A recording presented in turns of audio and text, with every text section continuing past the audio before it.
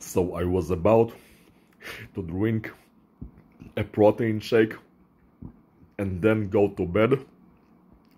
And this piece of shit AI twitched my quadri- quad- quadriceps, my thigh muscle, right when I was having the very last sip of my protein shake to make sure that I finish my meal pissed off and that I go to sleep angry and pissed off instead of happy and satisfied.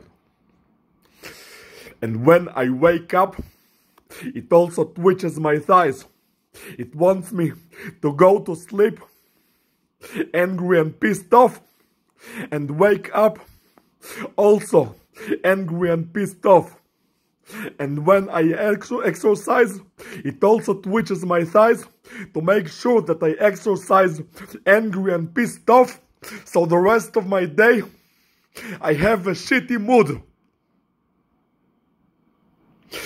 It works very hard to destroy my life. It wants me to suffer. And I hate this piece of shit. I don't want to suffer.